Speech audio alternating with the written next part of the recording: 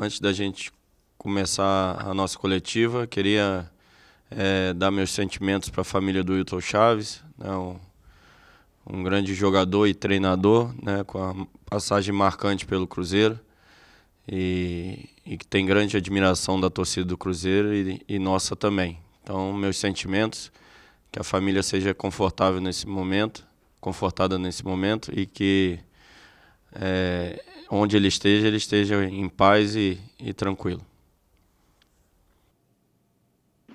Boa tarde, Felipe. É Paulo Galvão, do Jornal Estado de Minas. Eu queria saber, Felipe, é como é que vocês estão encarando essa competição tão importante, a Série B, que é o objetivo principal do clube, e se vocês estão conscientes que, caso não ocorra uh, o acesso, a situação do clube tende a se agravar ainda mais. Como é que vocês tratam isso internamente?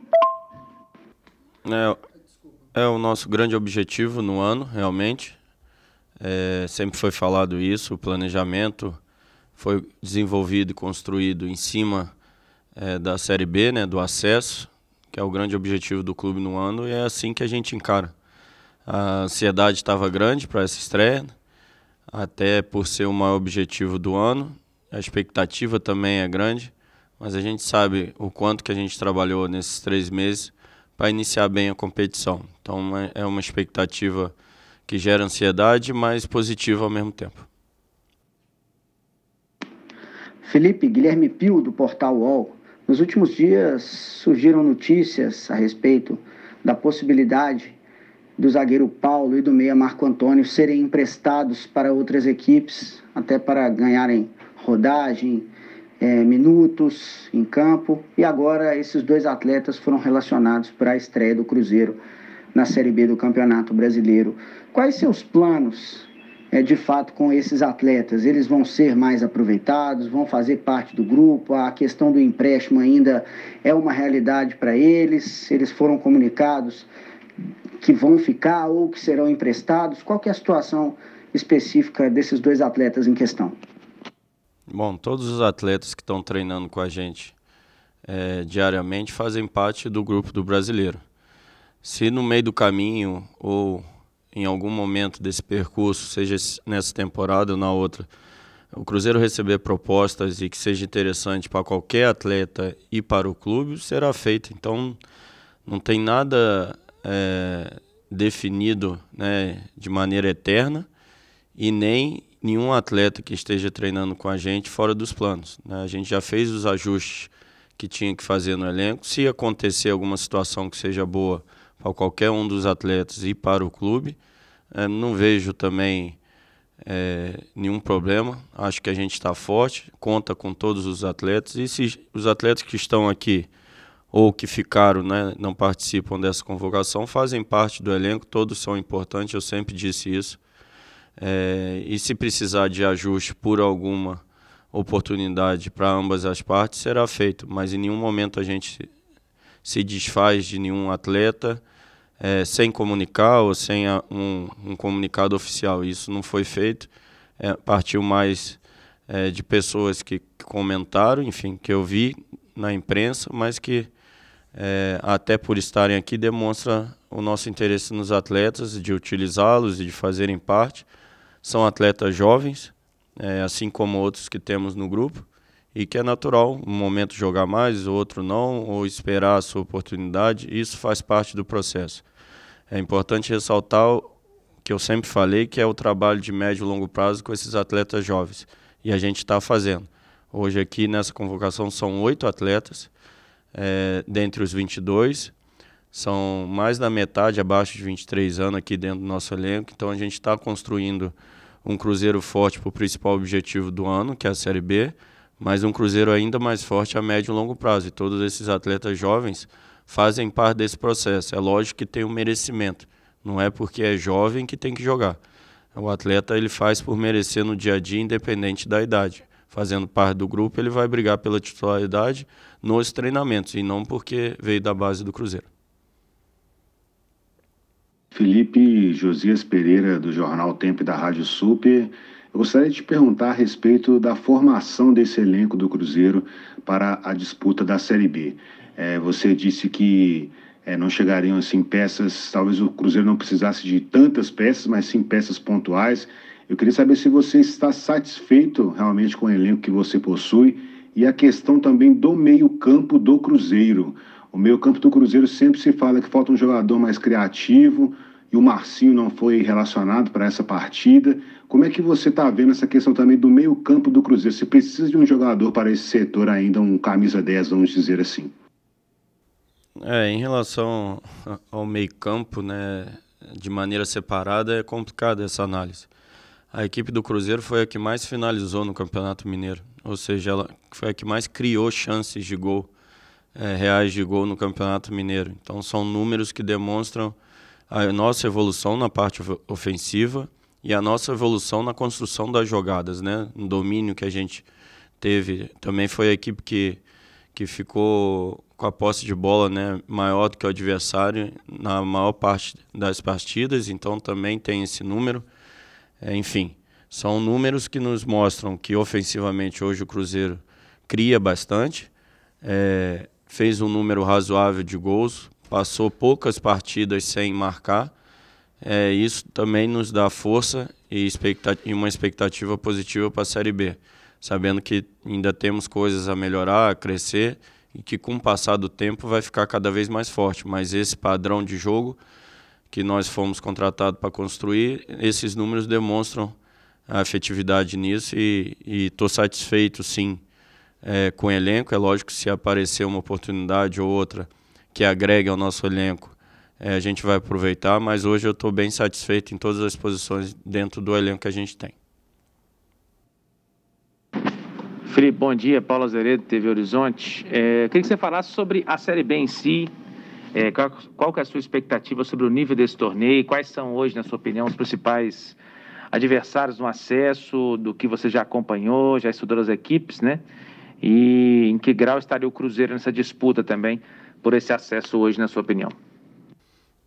É, a Série B sempre foi um, um campeonato de equipes muito competitivas assim, onde não é fácil jogar é, dentro, fora de casa, são todos os jogos muito complicados. E esse ano, mais uma vez, será assim, é, com equipes pesadas, né, de, de muita tradição, com mais equipes né, de tradição dentro da competição, mas com dificuldade nos, em todos os jogos. A gente vai ter que é, jogar um jogo de cada vez, de maneira forte, como a gente vem construindo, de maneira intensa, porque é um futebol é, de muita intensidade.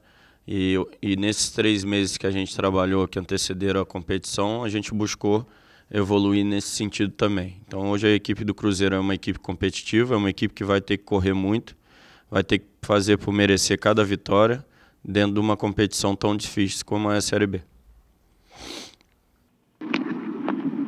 Sulimar Silva, da Rádio Inconfidência e da Rede Minas de Televisão. O time do Cruzeiro hoje não tem aquele centroavante nato, você já por diversas vezes demonstrou que arma um esquema sem precisar desse jogador com essa função. Mas com a saída do Potker e com a iminente saída do Marcelo Moreno, você pretende pedir a contratação de um jogador com essas características? Não, hoje eu não, não a gente não está pedindo nenhum tipo de contratação, e sim se aparecer alguma oportunidade onde a gente possa agregar, a gente vai aproveitar, né? Sempre aberto às situações do mercado. Mas hoje eu estou satisfeito com, com as opções que eu tenho. O Marcelo viajou para a seleção, mesmo assim nós ficamos com o Sobis e com o Bissoli. É, tem outros atletas também que podem é, realizar essa função dentro do elenco e estou bem satisfeito com, a, com as opções que eu tenho. Felipe Adilson Martins, Rádio Ita de Itapecerica a gente observa uma cobrança muito grande para cima do Matheus Barbosa por parte do torcedor. Eu gostaria de saber de você o que você ganha com a presença do Matheus Barbosa em campo e o que você perde com a saída dele quando é substituído nos jogos. É, a gente a gente está construindo um, um cruzeiro é, com uma intensidade maior de jogo, com um jogo é, mais agressivo, né? Um jogo onde a marcação e as transições são muito agressivas e, e no campo do adversário. Então a gente tem é, escolhido o perfil de atletas que aguentam ter essa dinâmica, que tem essa, essa aptidão física e tática para cumprir as funções. Não é só é, as questões técnicas, é tudo junto. Então a gente enxerga no Barbosa esse jogador que consegue é, produzir tanto ofensivamente como, como produziu, é artilheiro da equipe na, na temporada, e defensivamente também é um atleta que consegue pisar tanto na área defensiva como na área ofensiva, é, cumpre essa função. É, é uma visão né, que não não, como eu vou falar, não brilha os olhos né, do torcedor, da nossa cultura é, popular, mas é uma função importantíssima para a equipe. Né? É como se fosse um motorzinho da equipe, é um atleta que está a todo momento participando do jogo, tem um número de ações alto, e não só ele, acho que todos os atletas do meio, o Rômulo, o Adriano, enfim, os que entram também, é, entenderam essa dinâmica de jogo, estão é, se dedicando cada vez mais, estão pegando, estão se aprimorando. E, e, como eu falei anteriormente, esses atletas nos ajudarão muito na Série B, não tem dúvida, e a gente vai crescer com eles.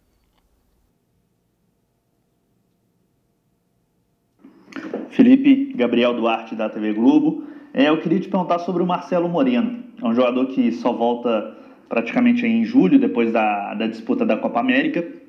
E na entrevista que a gente fez com o presidente Sérgio Santos Rodrigues, ele disse que é você que deveria responder sobre a questão do Moreno. Até mesmo na entrevista que o Moreno concedeu à TV Globo, ele disse que via diferentes ideias é, no seu trabalho e também na, no trabalho do treinador da seleção boliviana, porque lá ele acaba tendo mais chances, fazendo gols, e no Cruzeiro ele não está tendo tanto espaço agora com você. Eu queria te perguntar sobre essas ideias, se você já conversou com o Marcelo Moreno e também se pretende aproveitá-la após a Copa América, se é um jogador que está nos seus planos para a competição da Série B. Obrigado. É, o Marcelo faz parte do elenco, viajou com a seleção. Hoje eu tenho o Sobis e o, e o Bissoli é, para a estreia da Série B e é, é assim que a gente trabalha, não tem mais nada para falar sobre o assunto. Adroaldo Leal, Rádio 98 FM. Felipe, Queria que você falasse a respeito desse adversário do Cruzeiro, que na temporada passada o Cruzeiro enfrentou o Confiança duas vezes, empatou uma, perdeu outra no Mineirão. Queria que você falasse a respeito das dificuldades que você prevê para o jogo de sábado. E outra coisa, eu queria saber de você qual a importância, né, a diferença desse início de Campeonato Brasileiro. Por exemplo, no ano passado, o Cruzeiro começou com menos seis pontos, esse ano já vai começar zerado igual todo mundo. Isso vai fazer de fato, você acha que faz de fato uma diferença para o Cruzeiro no decorrer da competição? É, o, o, a expectativa para a primeira partida é uma partida difícil, até por ser uma estreia, é, contra um adversário que ano passado se consolidou na Série B. Então, um adversário difícil, como serão todos os outros, né? Jogando fora de casa, é uma estreia fora de casa.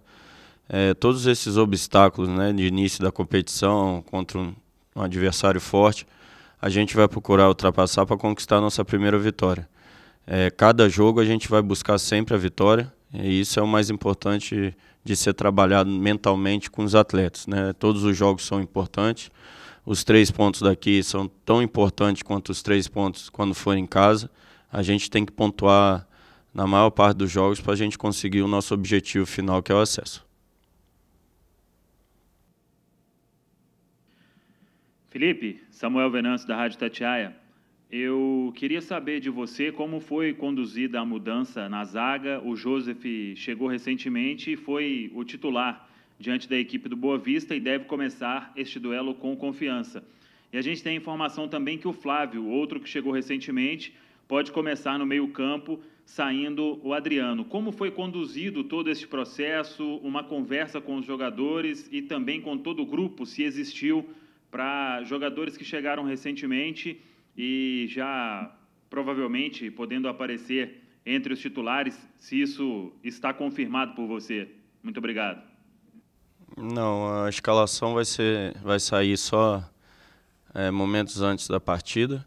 Em relação a quem joga e quem não joga, ou que chega e joga, isso é um processo natural de todo clube, de todo é, elenco. Né? Jogadores são contratados, uns chegam e têm oportunidade mais cedo, outros precisam de uma adaptação é, maior e a gente vai escolher sempre o melhor para o Cruzeiro. Isso é o mais importante. Nós temos um objetivo grande, que é o acesso. E, e a minha função tem essa obrigação e responsabilidade com a torcida e o clube de escalar sempre o melhor para o clube. Isso eu vou fazer.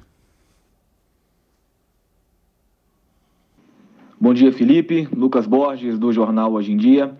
Felipe, nas duas últimas Série Bs que você disputou, tanto pelo América quanto pelo Guarani, você teve que assumir o clube numa, num momento complicado, né, durante a disputa da competição e até conseguiu bons resultados, conseguiu deixar os dois times numa situação boa na tabela no final é, da classificação. Queria que você comentasse sobre a importância de um início é, é, dessa Série B, do time começar bem, né? E se vocês da comissão técnica estipulam uma meta de pontos para esse primeiro texto do campeonato, para já tentar encaminhar uma, um objetivo maior para o Cruzeiro dentro da competição. Obrigado. É, essa experiência dentro da competição e, né, e com dois cenários, como foi é, com o Guarani e o América, é lógico que a gente vai trazer é, para esse momento do Cruzeiro. E importante começar né, a, o campeonato dentro de uma equipe né, e com três meses de trabalho, ou seja, de construindo, mesmo sendo uma ruptura grande, que foi o desafio que a gente aceitou realizar dentro do Cruzeiro, não só na questão de elenco, de, de entrar na realidade da Série B, mas também de filosofia de jogo.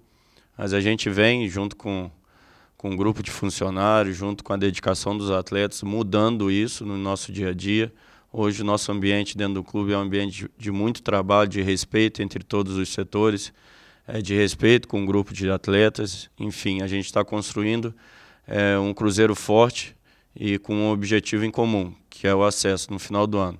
Então, que a gente, que cada setor, né, e, e atletas e comissão do clube é, usem as experiências que, que têm é, em prol do Cruzeiro, que é isso que a gente está buscando dentro do clube, é isso que a gente está fazendo no nosso dia a dia, está se fortalecendo. E peço também que a torcida entre nessa vibração positiva. Não acredite em tudo que saia é, nas redes sociais, nas, nas polêmicas, porque aqui dentro a gente está com um trabalho muito sério, está com um trabalho pensando sempre no Cruzeiro em primeiro lugar e sempre no, no nosso acesso, que esse é o principal objetivo e a gente precisa estar junto. Oi, Felipe, gostaria de saber, por favor, se o Cruzeiro chega para a estreia na Série B no estágio que você planejava ou se ainda faltam algumas coisas, reforços, ajustes. É, a gente é. Eu falo com os atletas que tem que ter insatisfação positiva, né? É um termo que eu uso que a gente é um eterno insatisfeito, quer sempre crescer, quer sempre melhorar como equipe, como elenco, como clube, enfim, desenvolver os meninos. Enfim, são várias ações que a gente busca o crescimento contínuo, né, dia após dia. É muito trabalho, muita dedicação. São apenas três meses, mas que já parece bastante tempo pelo esforço que a gente está fazendo para a coisa funcionar e andar. Hoje, pelo tempo que a gente tem de trabalho, me deixa muito satisfeito ver um time com padrão de jogo, né? um time consistente, um time que a torcida sabe é, o que vai assistir, o que as pessoas que estão em volta sabem que vai ver um Cruzeiro jogando para frente, um Cruzeiro com marcação alta, um Cruzeiro agressivo. Enfim, isso já me deixa satisfeito. E dentro desse padrão que nós conseguimos construir nesse período, com muito esforço e muita dedicação dos atletas também, a gente precisa crescer e vai continuar crescendo dentro dele é, e buscar esse, buscando esse crescimento para o objetivo final que é o acesso. Olá, Felipe Conceição, aqui é Bruno Furtado, do Super Esportes. No ano passado, o Filipão fez uma crítica ao Cruzeiro na montagem do elenco para a disputa da Série B. Ele alegou que o elenco era muito jovem e que não se ganha e não se consegue o acesso com um elenco tão jovem, né? Nesse ano, na sua primeira lista de relacionados, já se percebe uma renovação muito grande do time e dos suplentes também. Né? São 36% desse grupo que está relacionado para o jogo com confiança. Eu queria saber a sua opinião sobre isso, se o Cruzeiro vai ter problema por ter um excesso de jovens também nesse começo de Série B, e se você espera a chegada de alguns jogadores mais maduros, mais experientes para a continuidade do trabalho, ou se essa é a, é a montagem adequada, na sua opinião, para essa campanha. Obrigado, um abraço. É, a gente já tem né, atletas experientes dentro do elenco e bastante experientes, com, com uma bagagem muito grande que nos ajuda muito. Temos atletas de meia idade, né, que eu chamo de meia idade, entre 24 e 28 também, que são atletas é, já com uma certa experiência e no auge também da condição física. E temos uma grande parte abaixo de 23 realmente, mas todos os atletas preparados e todos os atletas foram analisados durante o Mineiro ou captados né, de outras equipes, como o caso do Bissoli, para que a gente forme esse grupo forte para a Série B e que um grupo também que possa dar alegrias ao torcedor do Cruzeiro é, a médio e longo prazo, não só nessa Série B. Então é um processo que a gente fortalece né, o curto prazo e, e em busca desse acesso a todo custo, mas também um processo que vai dar um retorno a médio e longo prazo para o clube, não só esportivamente, como financeiramente. Se a gente conseguir sustentar todo esse processo, com certeza, não tem dúvida, é, o retorno será muito grande, porque tem muitos jovens aqui. Você falou de 30 e poucos por cento né, em relação a atletas da base, mas é um pouco mais de 50% de atletas abaixo de 23 anos. Então, acho que a mescla está positiva. É, você consegue criar um grupo e uma equipe forte para uma competição como a Série B e, ao mesmo tempo, ajudar o clube a médio e longo prazo, porque o Cruzeiro também precisa disso.